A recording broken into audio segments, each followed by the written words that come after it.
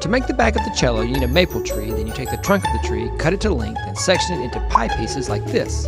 Two of these wedges are taken out, squared off, and then glued together to form a single piece. After being cut to shape, this piece is then chiseled out, planed to specification, and sanded to perfection before being stained and becoming the back of the cello. Subscribe!